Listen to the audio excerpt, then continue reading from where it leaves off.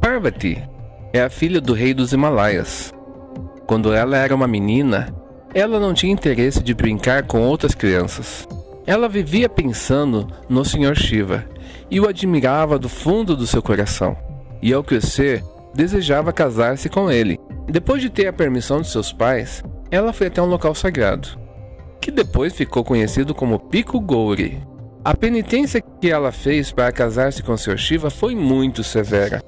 Ela ficou meses e meses sem comer, sem beber nada. O Sr. Shiva ficou tão contente com suas orações que quis fazer um teste com ela. Ele foi até Parvati como um velho devoto de Shiva. Quando ela o viu, ofereceu seus respeitos. Então o Senhor tentou convencê-la que ela não deveria passar a juventude em meditação, mas sim que também deveria desfrutar da vida casando-se com ele ao invés de Shiva, que só ficava dançando e meditando nos Himalaias. Incapaz de reconhecer que o velho homem era Shiva em pessoa, ficou muito brava em escutar os insultos.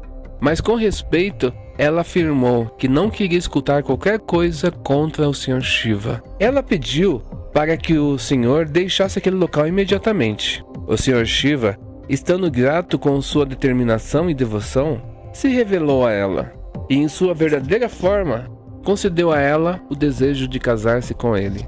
Então eles se casaram e iniciaram uma vida feliz no Monte Kailasha, nos Himalaias.